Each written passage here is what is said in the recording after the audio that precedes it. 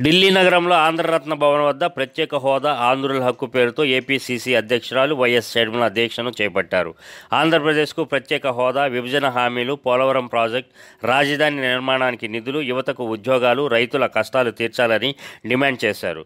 Petrol gas నిత్యావసర వస్తువుల ధరల పెంపు విషయంలో బీజేపీ ప్రభుత్వ తీరుపై మండిపడ్డారు. ఆమెతో పాటు Congress working committee member doctor N Raghuveera Reddy Congress working committee ప్రత్యేక ఆహ్వానితులు గిడుగు రుద్రరాజు రాష్ట్ర మీడియా చైర్మన్ తులసిరెడ్డి మాజీ ఎంపీ కేవీపీ రామచంద్రరావు పీలేరు నియోజకవర్గ నేత Bali Reddy Somasekhar Reddy AICC SC ST BC minority సమన్వయకర్త కొప్పుల రాజు ఏఐసిసి కార్యదర్శి మాజీ కేంద్ర మంత్రి జేడీ శీలం తదితరులు పాల్గొన్నారు.